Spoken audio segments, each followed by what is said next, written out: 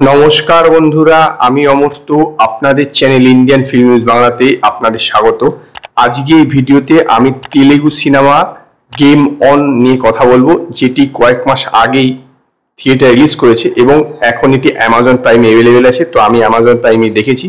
এই সিনেমাটাতে আছে মধু, গীত আনন্দ এবং নেহা সোলাক্স সোলাঙ্কি তো এই সিনেমাটার গল্প হচ্ছে একটা গেম নিয়ে এখানে দেখা হচ্ছে যে গীত আনন্দ একজন লুজার তাকে অফিসের বস থেকে শুরু করে সবাই যারা অফিসের কলিগ আছে, তারা তাকে লুজার বলে এবং সে কোনো সমস্ত কাজেই ব্যর্থ হয় এবং তার যে গার্লফ্রেন্ড আছে, তাকেও তার বন্ধু ছিনিয়ে নিয়ে যায়, চলে যায়।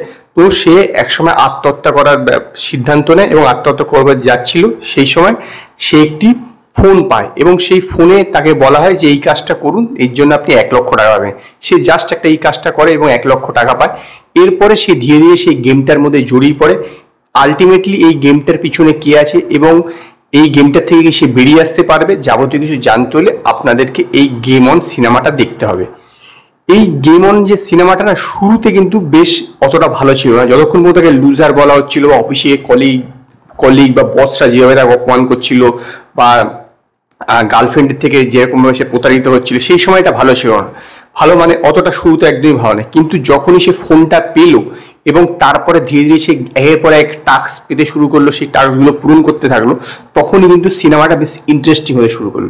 কিন্তু শেষের দিকে গিয়ে যখন তাকে যে টাস্কগুলো একের পর এক দেওয়া হচ্ছে এবং শেষের দিকে যখন সে এই কাজটা থেকে মানে এই যে টাস্কগুলো দিচ্ছে, বিভিন্ন লোককে মারার, এখান থেকে যে পালিয়ে গেল, তারপরে যখন সে আবার তার যখন ইনভলভমেন্টটা ফেরত এলো মানে তাকে সে যখন তাদের কাছে পৌঁছালো, কারা এই টাস্কগুলো করছে এইসব পিছন, তখন থেকে বিষয়টা কিন্তু জোল হতে শুরু করল। মানে যুক্তিসঙ্গত বিষয়টাই দাঁড়াল না। কারণ সে পালিয়ে গেল, এই টাস্কগুলো যেন না করতে হয়, তাকে কীভাবে খুঁজে পেল সেটা কিন্তু বোঝা গেল না। এবং আলটিমেটলি দেখা গেল এই টাক্সের পিছনে তার একটা অতীত মানে এই যে গীত আনন্দের একটা ছোটবেলার যে অতীত আছে, সেইটা এর পিছনে দেয়। এর পিছনে তার মাকে দেখানো হচ্ছে। কেন করেছে, যে রোলটা করেছে মধু মানে সমস্ত কিছু শেষের দিকে অনেকটা হেফাজত হয়ে গেল। এবং শুধু তাই নয় মধুর ক্যারেক্টারটাকে সেটাকেও ঠিকঠাকভাবে বিল্ড আপ দেওয়া হয়নি। হট করে আনা হলো এবং হট করে শেষের দিকে নিয়ে যাওয়া হলো। এবং অ্যাকশন সিনগুলো বিশেষত শেষের দিকে যে অ্যাকশন সিনগুলো হয়েছে, যেখানে গীত আনন্দ করেছে, সেই অ্যাকশন সিনগুলোকে সেরকমভাবে ডিজাইন করা হয়নি।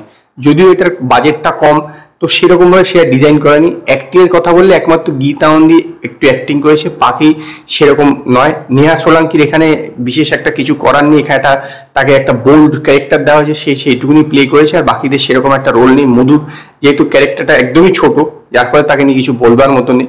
তো ওভারঅল একটা দেখবার মতন নয় মানে ওয়ান টাইম ওয়াচেবল কিন্তু বিষয়টা কি হচ্ছে, একটা জায়গার পর গিয়ে সমস্ত জিনিসটা না যুক্তিসঙ্গত হয়নি, সমস্ত ইললজিক্যাল হইতে শুরু করে। সেটাই হচ্ছে এই সিনেমার সবচেয়ে বড় ড্রব্যাক এবং শুরুর দিকটা এতটাই বোরিং যে মনে হবে না, এরপর আমি এই সিনেমাটা একটু এগিয়ে নিয়ে গিয়ে দেখি। এবং সেই কারণেই আমি এই সিনেমাটাকে পাঁচের মধ্যে দুটো স্টার দেবো। যদি আপনারা গেম অন সিনেমাটা দেখে থাকেন, তো আপনারা আমায় কমেন্টে জানান আপনাদের এই সিনেমাটা কীরকম লাগল। যদি আপনাদের ভিডিওটি পছন্দ হয়, ভিডিওটিকে লাইক করুন কমেন্ট করুন শেয়ার করুন, আর নতুন নতুন আপডেটের জন্য আমার চ্যানেলকে সাবস্ক্রাইব করুন।